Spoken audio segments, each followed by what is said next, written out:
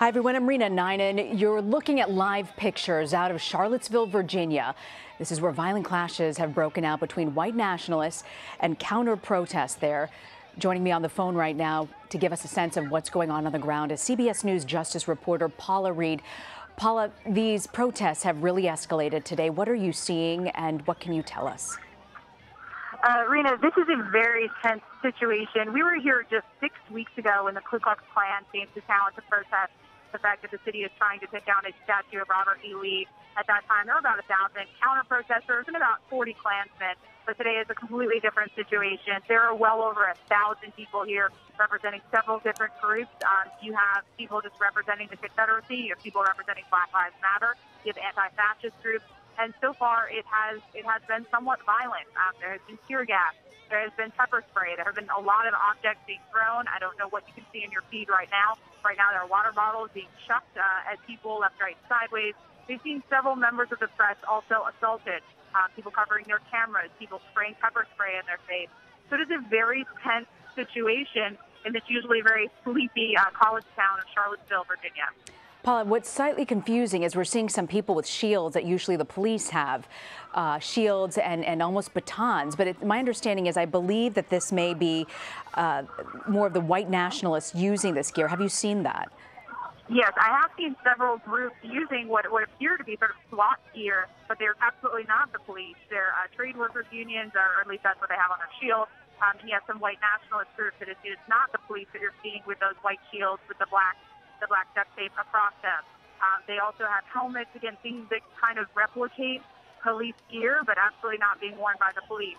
I will say that the police presence here is much lighter uh, than it was for the KKK rally. It's not clear to me if that is by design. Uh, the National Guard is here. There's supposed to be a very heavy police presence.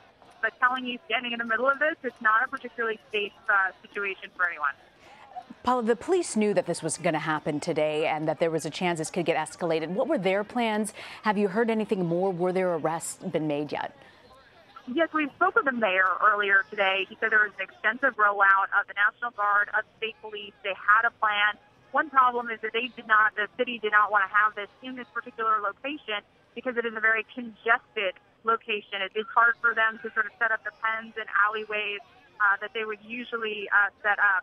I don't know if you can see this. There is some sort of gas or smoke uh, being dispensed right now. Uh, everyone is fleeing the scene. Um, but again, this was not where they wanted to have this rally. I wonder if that's maybe some sort of tear gas that the police are dispensing. Is there a way of, of, of telling whether it's protesters dispensing that or police? Again, it appears all of the things that have been dispensed so far, I have seen dispensed by protesters. I have not actually seen the police dispense pepper spray or tear gas or any of it. It has all actually been by the protesters themselves. It's fascinating to hear you say that. in this situation right now, uh, we're sort of in the crowd, who is dispensing this?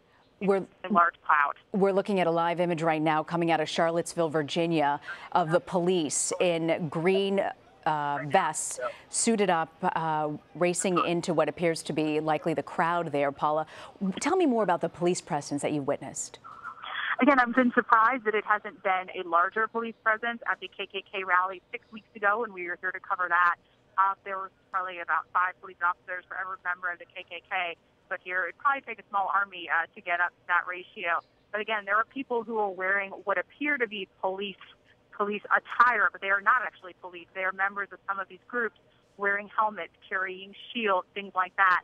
Um, the actual police are behind some barriers. Uh, they do, they're, they're certainly aware, they're watching the situation, but it is um, a smaller police presence than what I would have anticipated.